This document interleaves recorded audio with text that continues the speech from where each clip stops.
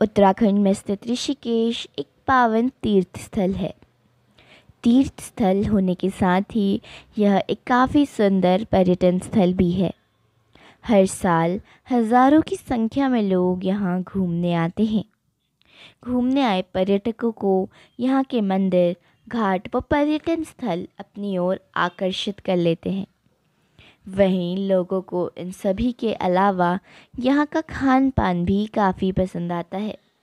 वैसे तो ऋषिकेश में कई सारी स्टॉल, दुकानें, भोजनालय व कैफ़े हैं, जहाँ स्वादिष्ट व्यंजन परोसे जाते हैं।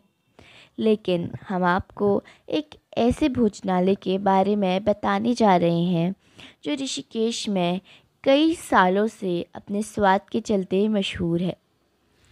यह भोजनालय ऋषिकेश के सरकारी हॉस्पिटल के सामने ही है, जिसका नाम है श्री राम भोजनालय। यहाँ आपको स्वादिष्ट राजमा चावल कड़ी चावल, छोले भटूरे और आलू के पराठे उपलब्ध हो जाएँगे।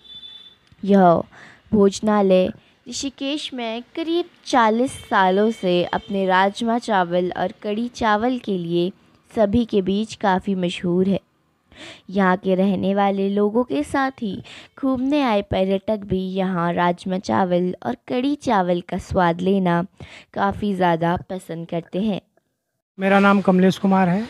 मैं देहरादून रोड सरकारी हॉस्पिटल के सामने श्री राम जी भोजनालय के नाम से रेस्टोरेंट चला रहा हूँ, जो काफ़ी पुराना है।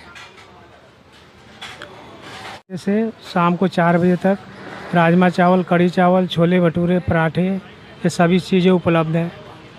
तीस का है, फुल पचास का है, छोले भटूरे पचास रुपये प्लेट है, पराठे भी पचास रुपये प्लेट है। तीस ही रुपये है, हाफ़ तीस, फुल पचास।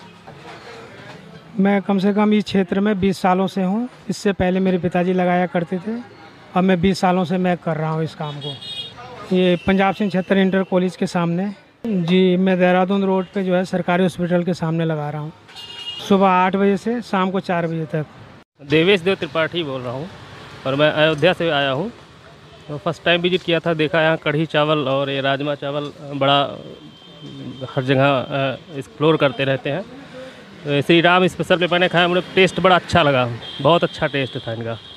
नाम यश है और मैं यहाँ पर आता जाता रहता हूँ बहुत बार और काफ़ी अच्छा टेस्ट है काफ़ी टाइम से आ रहा हूँ यहाँ पर। उत्तराखंड ऋषिकेश से ईशा बिरोरिया लोकल 18 के लिए।